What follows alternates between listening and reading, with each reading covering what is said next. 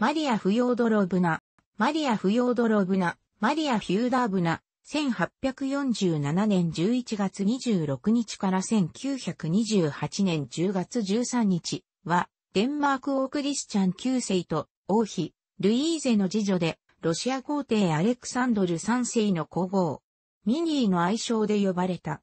姉に、イギリス王エドワード7世の妃、アレクサンドラ、長兄に、デンマーク国王フレゼリク8世、次兄に、ギリシャ国王ゲオルギオス1世、妹に、ハノーファー王国の元王太子、エルンスト・アウグストの妃、テューラがいる。幼いうちに創生した第二王子アレクサンドルを除き、三男二女が成人した。第一王女クセニアの娘イリナの夫が、グリゴリー・ラスプーチンを暗殺したフェリックス・ユスポフである。また姉アレクサンドラとは、毎年パリで会っていて、互いにプレゼントを交換し合うほどの仲の良い姉妹だった。1847年11月26日にコッペンハーゲンで誕生したマリー・ダウマーは家族からミニーという愛称で呼ばれた。姉アレクサンドラ王女とは三姉妹の中で年が近く、同じ部屋で育ったため、大の仲良しだった。父が1852年の王位継承法で獅子のいないデンマーク国王フレゼリク7世の継承者に選ばれるまではシュレースビヒホルシュタイン・ゾンデルブルグ・クリックスブルグ港、あったが、財力がなかったために、デンマーク王室から無料で借りたコッペンハーゲン市内の小さな家で暮らしていた。家庭教師を雇う金銭的余裕もなかったために、ミニーは指定ともに両親から教育受け、英語はイギリス人看護婦とイギリス人牧師から習った。アレクサンドラがイギリス王太子、アルバート・エドワードと結婚し、イギリスへ旅立った時、ミニーは涙を流して、コッペンハーゲンの王宮から見送った。ミニーと姉アレクサンドラは美貌の王女であり、結婚年齢になると姉アレクサンドラと共にヨーロッパ小王室から縁談が舞い込んだ。父クリスチャン9世は経済的窮地に追い込まれているデンマークを立て直すため、経済力のあるイギリス王室にアレクサンドラを嫁がせ、ミニーをヨーロッパ一の富豪と言われたロマノフ家に嫁がることにした。1864年にロシア皇太子ニコライ大公と婚約した。婚約後、ニコライ大公はミニーに会いにデンマークを訪れ、コッペンハーゲンの王宮でミニーと初めて対面した。対面後すぐ愛嬌のあるミニーはニコライ大公を笑わせていたという。ニコライ大公の両親アレクサンドル2世、マリア・アレクサンドロブナ皇后夫妻、ミニーの両親クリスチャン9世、ルイーセ王妃夫妻は二人の様子を。自重から聞いて安心したという。1865年、ニコライ皇太子は。ミニーと結婚間近に。肺結核を患い、弟アレクサンドル大公にミニーと結婚するように。伝えて逝去した。婚約者の死はミニーだけでなく、デンマーク国王夫妻にも大きなショックを与えた。クリスチャン9世は婚約者の死で悲しみに暮れるミニーに話しかけることもできなかったという。そんなミニーにアレクサンドル2世は手紙を送り、ニコライ大公が逝去してもミニーをロマノフ家の一員に迎えたいという気持ちには変わりはなく、代わって皇太子となったアレクサンドル大公と婚約をミニーに申し出た。ミニーははじめ躊躇したが、母ルイーセと姉、アレクサンドラの説得により、アレクサンドル大公と婚約することを決めた。1866年9月1日に、ミニーはコッペンハーゲンからサンクトペテルブルクに向けて出発した。この時、ミニーを見送るデンマーク群衆の中に、ハンス・クリスチャン・アンデルセンがいた。彼はミニーを慈悲深い心の清らかな王女と評した。ミニーはロシア王室に嫁ぐため、正教に改宗し、名前をマリー・ソフィー・フレデリケ・ダウマーからロシア風に、マリア・フヨードロブナと改めた。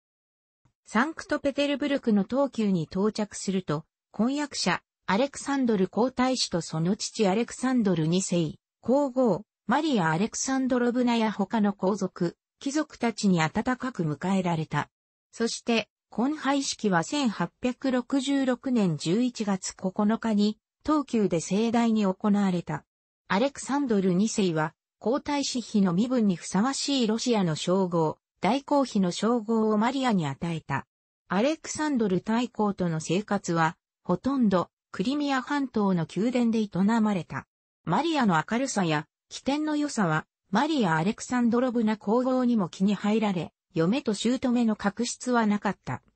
アレクサンドル大公もマリアに非常に優しく、政略結婚であったが二人は非常に幸せな結婚生活を送った。かなり小柄だったが愛嬌があり、どんな階級の者とも話せる明るい女性で、ロシア国民に人気があった。1873年、ミニーは夫のアレクサンドル大公と共にイギリスを訪れた。美しい二人の姉妹はお揃いのドレスを着てハイドパークを散歩したり舞踏会に現れた。社交界の人々は二人の美しさやミニーが身につけている美しく大きな宝石に目を奪われたという。ミニーとアレクサンドラは毎年パリで落ち合い、互いに結婚後も姉妹の仲の良さは変わらなかっ。二人の一家は家族ぐるみで付き合いを続け、夏の休暇には二人の故国デンマークで過ごすようになる。1881年3月13日の朝、義父アレクサンドル2世が東急へ向かう途中、爆弾を投げつけられた。宮殿に運ばれた瀕死の状態の皇帝を見たマリアは、日記に、皇帝陛下は、手足が押しつぶされていて、足が裂けていたと記している。アレクサンドル2世は、医師団の治療も買いなく、崩御した。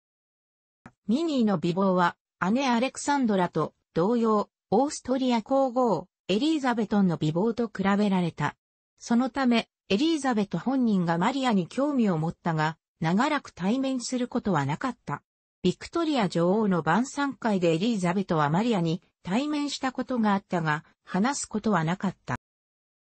1883年5月27日に、モスクワのクレムリンで、重々しい警備の中で、戴冠式が行われ、夫アレクサンドルが、ロシア皇帝アレクサンドル3世として即位し、マリアは皇后となった。戴冠式には、アレクサンドラとアルバート夫妻も招待され、3000人もの王侯貴族が訪れた。式典は何時間も5メートルもあるアーミンの毛皮のマントと重たいダイヤモンドの王冠をつけていなけれならず、小柄なマリアの足はむくんでしまい、靴が入らないのでこっそりとスリッパを履いていた。マリアは戴冠式の最中、いつものようにアレクサンドル皇帝をそっと抱きしめ、儀式の最中にキスをした。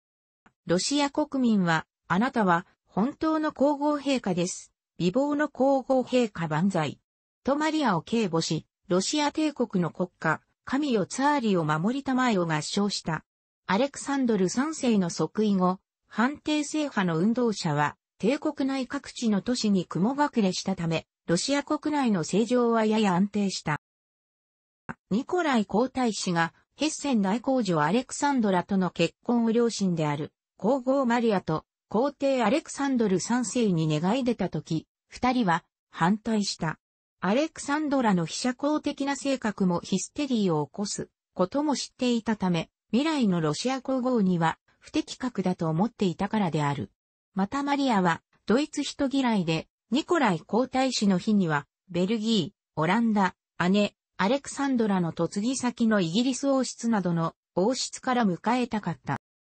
マリアの姉アレクサンドラも、この結婚には反対した。アレクサンドラはヘッセン対抗下の不吉な災いが、ロシア帝室にも影響を及ぼすのではないかと心配していた。ニコライ皇太子は結婚に反対するマリアにアレクサンドラを対面させた。しかし、強圧的な母親であったマリアはアレクサンドラに対してそっけない態度をとった。マリアはアレクサンドラがアリックスと呼ばれているのが気に入らなかった。この愛称はマリアの姉、アレクサンドラの愛称でもあったからである。そのため、マリアだけは、ヘッセン大公女、アレクサンドラと呼んだ。そんな中、アレクサンドル3世は病に倒れ、ニコライ皇太子の結婚話は、うやむやになった。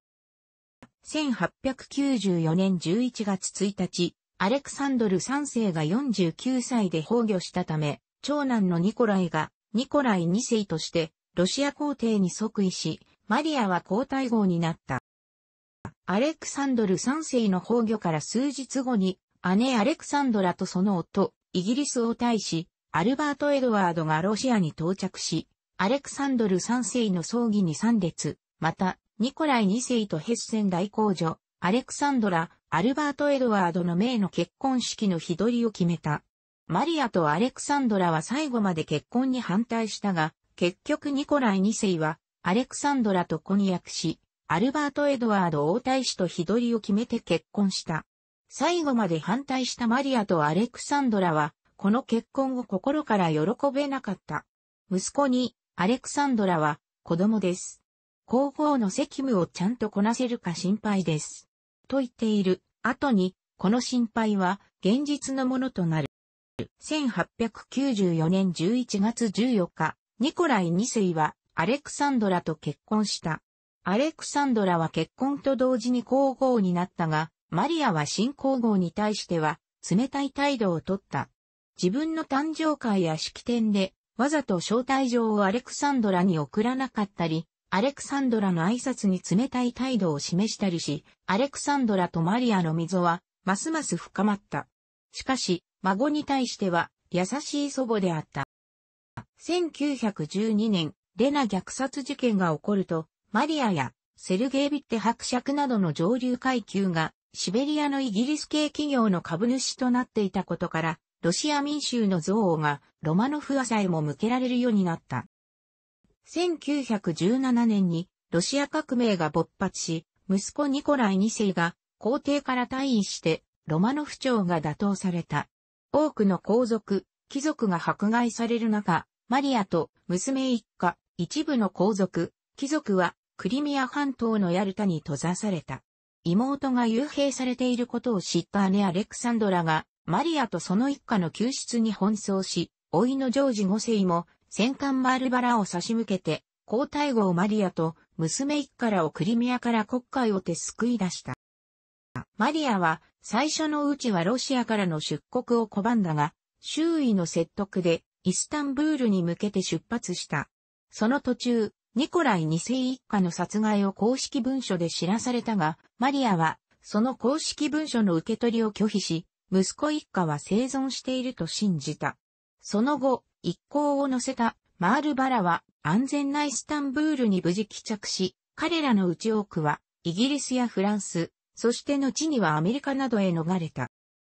マリアは姉とロンドンで再会した後、故国デンマークに亡命した。マリアはアレクサンドラ一家と休暇を楽しむために二人で購入したコペンハーゲン近郊の別荘で暮らした。当時の国王は、老いのクリスチャン10世であったが、王室からは厚遇され、手当も多かった。社交的なマリアのもとには多くの人々が集まり、訪れる人の絶えることがなかったという。ニコライ二世一家の写真を手元に置いて余生を過ごした。後に孫娘のアナスタシア王女だと名乗る女性が現れても、マリアは面会を拒んだ。一家の死を認めようとせず、それどころか息子も嫁も子供たちも無事に生きているのを自分は知っていると言い張った。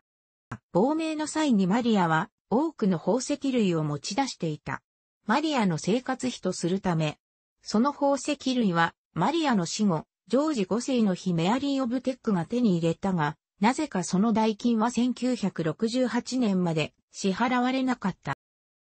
2005年、デンマークロシア両政府の合意により、マリアの棺をロシアへ運ぶことが決定した。翌2006年、ロスキレ大聖堂に葬られていたマリアの棺は、サンクトペテルブルクの夫の隣に改装された。